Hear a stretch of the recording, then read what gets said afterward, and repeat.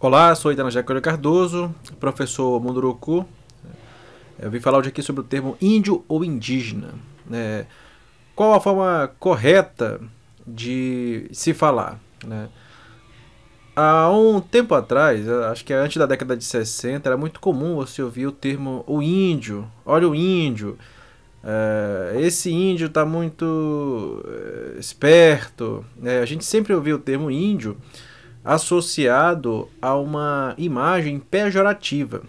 Recentemente, recentemente que eu digo, depois da, da do movimento indígena organizado, esse termo ele vem, ele vem sendo substituído pelo termo indígena. Porque o termo indígena, na verdade, é um eufemismo. Né? Ele, ele, ele deixa a linguagem mais polida, né? o termo indígena. E a memória pejorativa em relação a esse termo indígena, ela é muito menos prejudicial do ponto de vista semântico do que o termo índio. Tanto é que se a gente for fazer um levantamento hoje nos trabalhos, nas dissertações e teses das universidades que foram publicadas nesses últimos tempos, você vai ver pouquíssimos termos é, com a configuração índio, é, mas com a configuração indígena.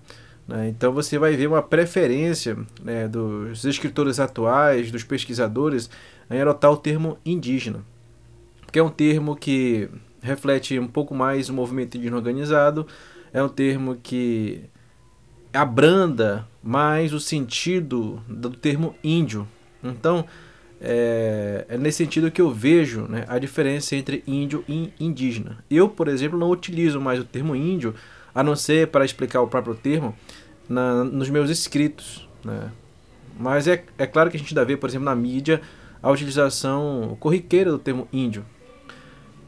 O que eu considero compatível porque é, a mídia não tem uma, é, essa preocupação né, em adotar uma linguagem do próprio povo indígena.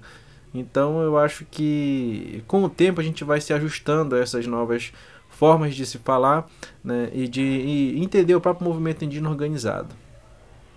É, é isso, obrigado.